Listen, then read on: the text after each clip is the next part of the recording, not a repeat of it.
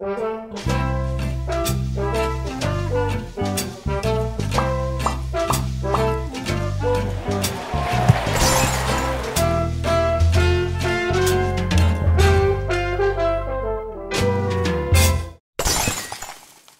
to Harty's One to One with me, Ian Hart. Picture the scene. It's last evening. I'm not even to the first break of Emmerdale, and my phone bleeps. You never guess. It's today's guest pulling out at the last minute. So we've got a studio, we've got cameras, we've got lights, and we haven't got a guest. What do you do? You go with what you know best, with family. So my guest today is my firstborn who changed my life on the 17th of April. 17th of July. who changed my life on the 17th of July 1992. It is former Love Islander, but daughter of Ian and Sue Hart, Amy Hart. Amy, Hello. thank you for joining me. Well, I At didn't the really last have a choice. minute, at the 11th hour. you emotionally blackmailed me on I a voice note, emotionally so I didn't really have you, a so, choice. um, Uh, As Michael Buffer would say in Las Vegas, let's get this party started. We're not going to go on about your idyllic childhood, you know, where, Yeah. where you wanted for nothing. Before it all began for you in, in Yeah. the public eye, you were at British Airways. Yeah. How did that come about? How did you end up working there? I was bored at college one day, so I was looking at jobs to do, and air hostessing came up, so I thought I'd give it a go, and I hated it to start with. But then I learnt to love it and uh, did it for nearly 10 years, and I was cab manager um, in charge for 300 passengers and 10 crew. What did you enjoy Oh. about the job? Okay, so I loved like being able to like make people's day and be kind to people, and obviously the travelling and the crew. This like it's not really a job; it's more of a lifestyle, and it's just uh, yeah, it was just really fun. And it also helped your love of theatre, didn't it? Because I believe that when you went to New York for a, for a three night stopover, No, I went on holiday to New York uh, for like six days, and we saw four, sh- six shows in four days, and then four shows in three days the next time. But I used to always go um, to see a matinee if I had like a New York on like a Saturday or whatever before I flew home, so I'd have to sleep in my car before I drove home because I was so tired. how did the Love Island seed get planted then? I just watched it the first year, and I thought like um, there's lots of couples there that would never have met anywhere else. So I thought I'd apply. Um, and then as soon as I applied, I was like, I'm going to be on Love Island, I'm going to be on Love Island. And everyone else told me I wouldn't be. And then I got it. Did you actually go on that show looking for love? Yes, I did.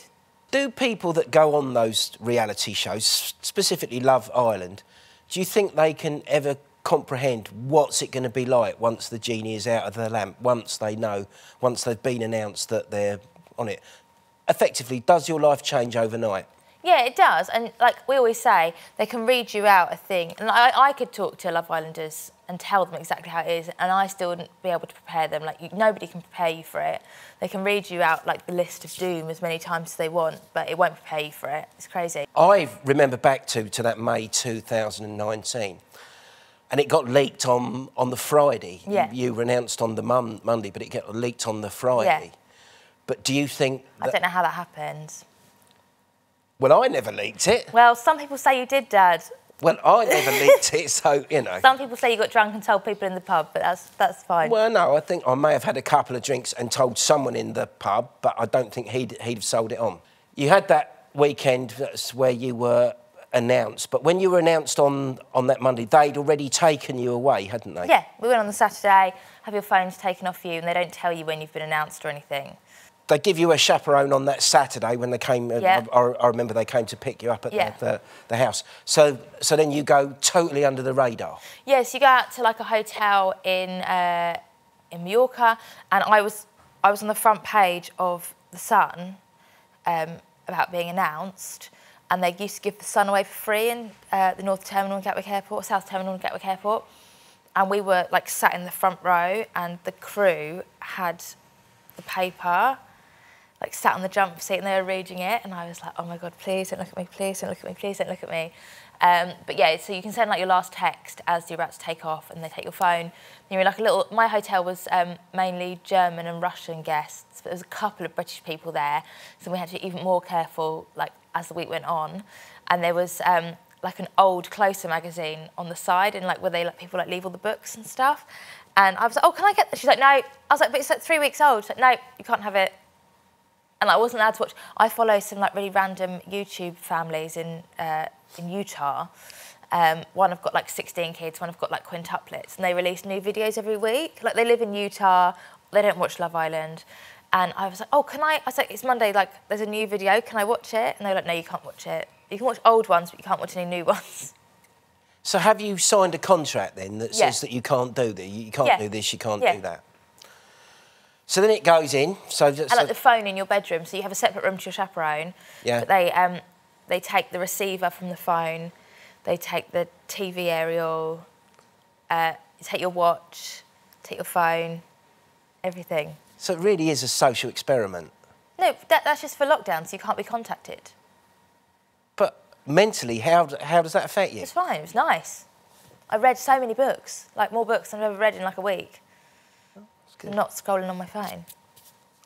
You, So- you could do with having your phone taken off of you, Dad. I know I could, but you know that's that that's that's for another show. Um, Ian's digital detox. yeah, Do that. Ian's digital detox. That'll be a winner. So then you go in there. Um, you got you got match, matched up with that Anton first. Anton first, yeah. He Um, was all right, though, wasn't he? all right, yeah. And then uh, obviously the first night Curtis came in, and then we coupled up on day two, and then I left like day 37, I think. Yeah. And then came back and they gave you your phone at Gatwick, wasn't it? No, when I uh, when we got in the car to go to New York Airport, my phone was so old and decrepit, um, and had been dropped so many times and had no middle button and stuff. So basically, I got Georgia, my chaperone, to plug it in and charge it up the night before, um, and let all the messages come through because people have said before that they've turned their phones on, all the messages have come through, and then their phone's just broken. So I was like, just keep like putting it on and off flight mode, like letting some messages come through, and then turn it off, then put some like let some come through. It had like 542 WhatsApps. Yeah. Yeah. Most of them, one of my friends giving me a daily update every day I was in there.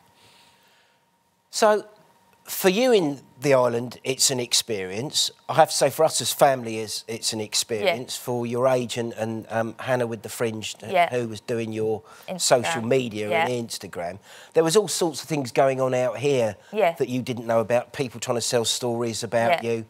Um, you even had a death threat that ITV called the police in. Yeah. But See, but I, I find it weird with death. I don't know whether I'm just very blissfully unaware, but with death threats and stuff, I'm like, oh yeah, of course you're going to kill me. Cool. Yes, but my point is, and not just as your dad, but as an adult, Mm. it was a graphic death threat, Right. a really graphic death threat. Do you know what the death threat was? No. He was going to cut your head off and gouge your eyes out. So the ITV called the police in, and it turned out he was a 14 year old. Exactly. So I'm like, yeah, of course Amy, Amy, let me, my let off. me. My point is, ITV called the police in. Yeah. The police found out it was a 14 year old. My point was that when they said no further action taken, Yeah. through ITV and the very helpful Henry, who was Yeah. great at ITV, I said, I hope this doesn't come to bite the police on the backside when this guy does something when he's 18 or 21. If he has this level of respect or lack of respect for women at 14, that he Well, needs to be pulled in. misogynistic society and No, but he needs no, but he needs help. Yeah. You know, if they'd flagged up Ian Huntley when they should have done, he would never have been working at that school. Do you No, not agree? yeah. So you come out, you then become what's known as an influencer. So can you talk us through? So basically, influencers they get a really bad rep. People are like, it's not a real job. I hope my children don't. It's a form of advertising. Yeah. It's a form of advertising using social media. If, if your child said they wanted to work in advertising, you'd be like, amazing, that's amazing. Um, so basically, it's using the platform that you have to sort of talk about things that interest you, whether that's like fashion or beauty or fitness or like I talk about the food bank a lot on mine, obviously, and like charities that I work with.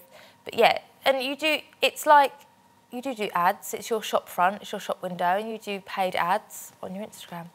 Now, in a couple of weeks, you're going to talk to a select committee at Westminster. Yes. About influencing. How how did that come about, and what what are you? You know, you're obviously going to talk about influencing, but what facets of of, uh, of that are you going to? Influencing is a new industry and it's completely unregulated. Yeah. So they're trying to do things like have a creator union. I think there should be like a standardised pricing structure, um, sort of more support for smaller influencers that don't have uh, management behind them that have to do their own deals. Um, but I sort of got that because I've been very vocal about. I know you don't like unions, but uh, me joining a union, I telling everyone to join the union. Yeah. Um, because so You do because of like that- unions, I don't do you? like You- you- unions, yeah, you- and you, don't. Why don't you like unions, Ian? I, I think unions were, were very necessary back in the day Mm-hmm. for um, supporting the uh, workers Yeah. and workers' rights. But I feel as things have gone on, certain union leaders have got too powerful. Mrs. Thatcher did a lot of good in this country. She did a lot of bad in this country. But one of the things she did do in 1984, she took the unions on. Yeah. And if she hadn't done, we might have had anarchy in this country. So I was very proud of the of the stance you took with Yeah. when all your mates at BA were getting the Guna. Yeah. And um, and you actually went because they had on South to today. They had all the pixelated faces, Yeah. and then you are Yeah. Exactly. giving it Billy Big Potatoes, saying you know this is uh, this Yeah, is how it should be. Right. So, but is it that cutthroat a business influencing that you think a union would help? Yeah, more more for the smaller creators as well, like because they don't have the backing of like agents and stuff, and um, everyone wants something for nothing in this world. So you know, lots of companies are willing to gift everyone, um, so they're working for free forever. So it's when you have got to like move over to. I think it should be done on like your followers, and also the the actual social networks need more regulation and need to be held accountable for things. The fact that when you like when you have trolling messages and you report them as abuse, it always comes back and says it doesn't break our community guidelines. We haven't like blocked this person. You can make as many fake accounts as you want to troll Yeah. people. Like you should need um, like some sort of ID. And, th- and this is one of the things that you'll be sitting with the MPs and saying this needs to happen. I think so. Yeah, it's about the influence Because, of safety. you know, again, with my Harty hat on, but with my also, also my dad hat, Yeah. someone used the C word against you on Instagram, and Instagram said it, it, it didn't contravene. I mean, people have used that to me on the plane, Dad. Um, I don't. I think. I think as well. I think in general life, there's a level of like what you're offended by. Like I don't know if it's growing mm. up with you as my dad. Like I've never ever been offended by a joke ever. Like I've never ever watched a comedian and been like, oh, I'm offended. Like I just I like the joke or I don't. One of the other, other things that deeply offended me was when you went in the Sun Jab Army and you were actually trying to help people and help us get Yeah. through as a society through this Yeah. terrible situation. Yeah. Would you like a trolling law? I mean, your your your mate Bobby, Bobby, from yeah. Towie Well, it's not a trolling wants law. to bring it's Bobby's not law no, in. No, but say what you want, basically. Yeah. But don't do it from an anonymous account. That's the issue, is the anonymous accounts. Say what you want, even if it's deeply Well, yeah, offensive. like, you shouldn't be. Everyone should be brought up not to do that, but some people aren't. And some people are nasty. And some people, you know, I've had passengers and crew members and stuff that have been nasty before. Some people are just nasty.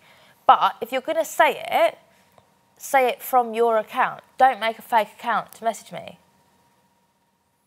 But if you say something like that, is it not slander? Yeah, but then okay, so then, then Or libel. yeah, but then if you say something nasty and it's really nasty, then like yeah, have your account banned, have your account suspended, but it sh- but then you can't make another one. This is the thing. You can block people on Instagram and just make a new account and message you again.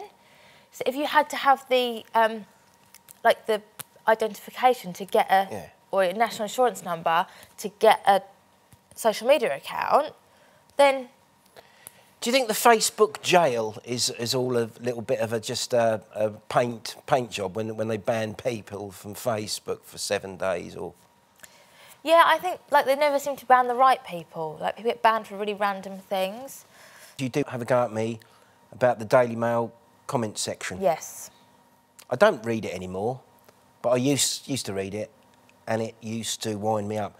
Do you think Bobby's law might encompass things like that as well? Um, the Daily Mail, I think, say that the comment section has to stay because it's free speech, but the things in there are awful. I don't read it's them anymore. abuse. It's abuse, yeah. But I feel like people do it now because it's like a notorious thing. The bottom line: Do you think we will have a trolling law? Do you think Bobby will get his law? Hopefully, yeah. Um, No, but do you think he will, or do you think Yeah. so? And it'll go through Yeah. Parliament, and it'll be on the statute yes. book. Yeah, hopefully. And that's brilliant. Yeah. Moving forward. Mm-hmm. One of the things that you do since since you came out of the, the island pulling your trolley case is you've got involved with the theatre because that's your great love. Yes, You're a great am drama back in the day in Worthing. I was. But you've um, you actually you've produced or co-produced a play. Yes, I did. How did that come about? And uh, Um, just I get drunk at lots of parties and say, I've got this pot of money that I want to invest into into producing musicals, and then everyone's like, Oh yeah, we'll message Amy. Yeah. Um, so I got a message from people saying, Oh, we're doing this play. Would you like to invest? And it was with Shane Richie, who I adore. So I was like, Yes, I will. Um, and it was a really good experience. I learnt a lot, um, but it was streamed. So I'm looking forward to producing something that's live. yeah, now you've you've got something. In, Not uh, no, we're postponing it till next Okay. year, so I can't talk about it. but the like- play with Shane is called Scaramouche Jones. yes, and it, I, I really enjoyed it. You know, Yeah. I, I'm uh, I do like the old musicals. I'm not a big one for plays. but then when you think about, I was never one for plays, but like the play was an hour and a half. If there was an ITV drama that was an hour and a half, you'd sit and watch that, and that's just a play. Yeah, yeah, that's true. Yeah, Yeah. watching a play is like watching telly. Yeah. But there's nothing like being going to the live theatre. We, we, Yeah, you know, exactly. we, we were very lucky the other week. We went to see the Windsors. Yes, which is um, very good. Which was absolutely superb. Go and see it. It's on till October at the, what's the At theatre? the Prince of Wales. Yes. and Not then, the Playhouse Theatre that I was originally sent to by my daughter. Um, but then, and then Only Fools and Horses going back in there with Oscar. Brilliant. Yeah, because we went to see that, Yeah. and I, I, I met Paul Whitehouse, really Yeah. nice guy, and I met John Thompson. Yeah. That was a really good night. And the, the night before that, you got me tickets to see Jersey Boys. Yeah. I don't think people really understand what the theatre land brings to the economy. Yeah. And how badly they were treated in the pandemic. So, Amy, Yeah. the floor is yours. Thank you. Well, obviously, like all the footfall in London, like shops, restaurants, bars, Yeah. etc. People are only up there because of theatre, Yeah. and um, it is people's profession as well. People have trained for years. They've, I've got friends that have been in the industry for 35 years that been working in Sainsbury's because they got no help from the government at all. They see it as like a luxury. Um, But how much does it, is there not a figure?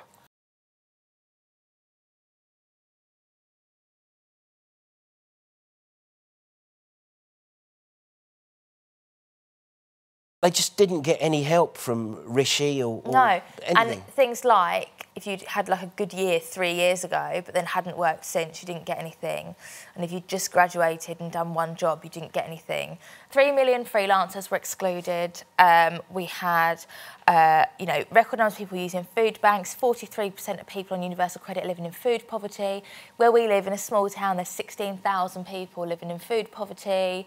Um, you know, the cuts to the industries, the fact that there's absolutely no help. You love the theatre, absolutely no help for the performing arts industry. You have my friends that are actors round to your house, um, no help for that industry.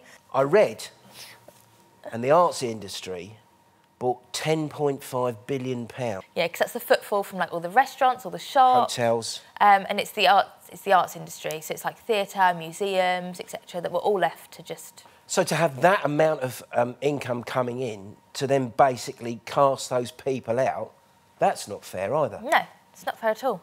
I think in the arts industry, there's like an estimated 226,000 jobs or something in the arts and culture industry.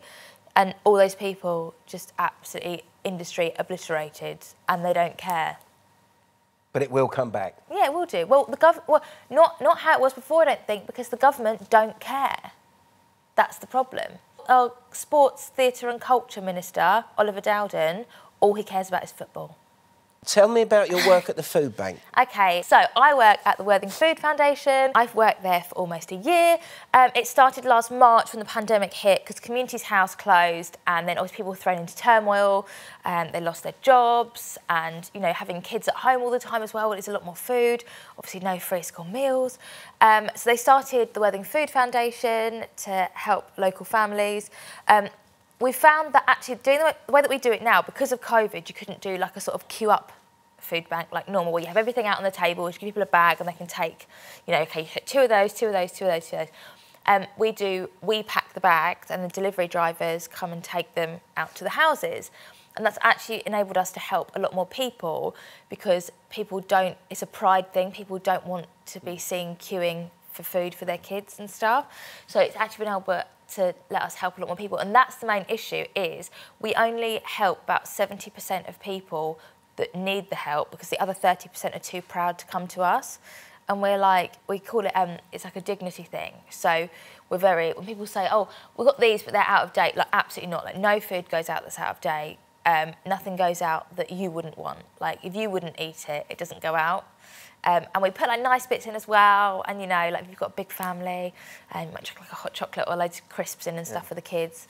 So we're a non-referral food bank. Um, so what does that mean? So that means to the uninitiated, that, um, people can come to us and say they need help. They don't need to go to like they don't need to like get to like the worst worst possible bit and then be referred.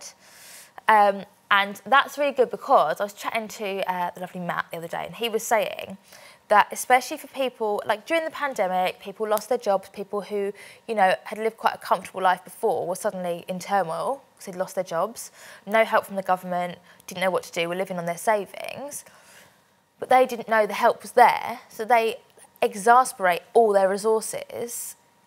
Like you know, they they spend all their money on foods, they can't pay their mortgage, etc and they get to the point where they have nothing left and then they come to us.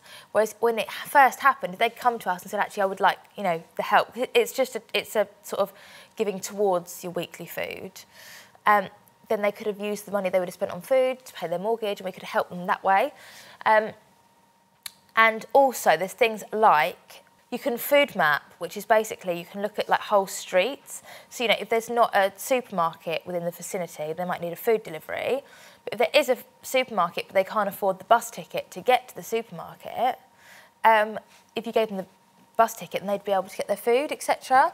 So, I mean, there's, there's, lots of different ways to look at it, but um, I didn't know, but the food bank spend £4,000 a month on food donations because around Christmas, everyone wants to donate to the food bank, but then the rest of the year, um, nobody's really like donating anything. They spend £4,000 a month on, uh, on food donations.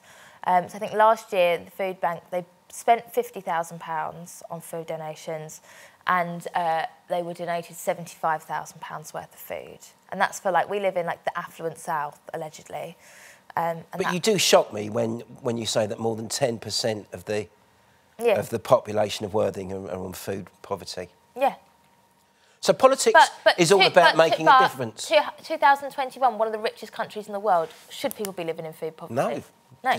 It's disgraceful, and it's all my generation's fault. Yeah. But this show's only 23 minutes long, so... Well, I would say it's the fault of the government, but that's just my opinion. Yeah, but everyone blames the government because that's what you do. So politics is about making a difference. Yes. So have you got ambitions? Maybe one day, like I'm enjoying what I'm doing now. I keep seeing the future candidates programme come through my email inbox. Um, but maybe one day. But right now, I'm just enjoying like using my sort of platform about the issues that I care about and like connecting with different people. Like there's an amazing lady called Carolyn Harris who's an MP, and she actually like obviously when you do funerals for under 16s or under 18s, they're under free, 18s, aren't they? Yeah. Um, she lives in Wales. Apparently, that's not a standardised thing. Her son sadly died in a car accident when he was eight, and she was grieving the loss of her son, but also worrying about how she was going to pay for the funeral. So she um, went to Parliament when she became an MP and got a grant that all mm. parents can receive. Yeah. If, and like the fact that she's done that, you're like, wow, like you used like the worst things ever happened to you to yeah. make things better for other people. We just felt, and, and it, to be fair, it, it's other firms that I've worked for previously, yeah. that you can't make money out of children. No. So, but, and, but not, not everyone does and, that. And so you, this you know, grant. So, so, if you have the complimentary yeah. funeral, yeah, yeah. that's. But this grant is amazing in the fact that she used like the worst things ever happened to her to make yeah. things better for other that's people. Um, and I'm actually going to get to meet her in person when I go up to the House of Commons. So I'm really excited. We're going to have a drink on the terrace. Can't Lovely. wait. I have to say, I think even though you you've forever attacking me for my politics, even though it's a democracy, I was disappointed with the government's stance on the free school meals. And I thought Marcus Rashford, for what he did, should have been a shoe in for Sports Personality of the Year because yeah. he was a personality. Yeah. I think I think the issue is, and this isn't me being negative or anything. I think the issue is the country is run by people that, that have never had to live on like on a low income. It's run by people that have never had to like decide whether to feed their kids or put the heating on. You know, like Brenda Edwards on Loose Women was saying that her kids used to go to bed and she'd sit there freezing because she didn't have enough money to put in the, the heating. But this is the 21st century, Amy. We shouldn't be talking Exactly. like this. Exactly. Exactly. People like the and the like it's, it's always on the news like the quality of housing that the, the government give people. Um, like and there's damp and there's mould and they don't do anything about it. Right, coming up, you've got Panto this I year. I have, I have. Jack and the Beanstalk. At the King's Theatre in Southsea, yes. Um, very much looking forward to it. But I've told everyone they can't tell me when they're coming to see it because I don't want to know. But I'm playing Princess Jill in Jack and the Beanstalk with Sean from uh, Same Difference. Me and my brother, who you know, my brother. We loved Same Difference when we were kids. The fact that I get to play opposite Sean is hilarious. Um, my brother can't wait for a picture with us and the actual Same Difference. Was Panto a long-term ambition of yours? Um, well, it was, but now Because you did appear when you were a youngster Yeah. with the likes of Timmy Mallett and Jess Conrad and Yeah, Connie Crichton. Rhino from... Uh, fr did you uh, No. there with Rhino? Uh, Dora Bryan. Dora Bryan. So yeah, so uh, it was, and now I've started my singing lesson. I'm starting to regret it slightly because it's quite nerve wracking having to sing on stage in front of 1,400 people as well. Like obviously I've grown up in Worthing.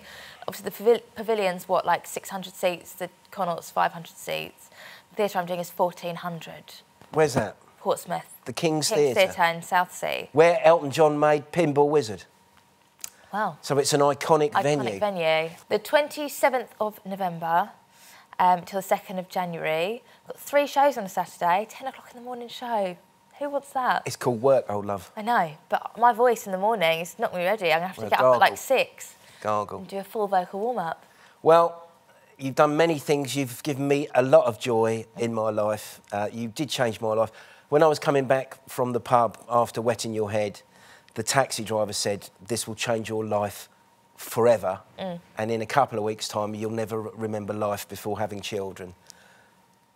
More importantly than that, thank you for getting me out of the cart today, Amy. All the best. Thank you. So that was it. That was a Harty's one to one, like no other before. Uh, I'm going off to uh, clear my ears out after they've been chewed off for the last 25 minutes. But uh, thank you for watching. See you next time.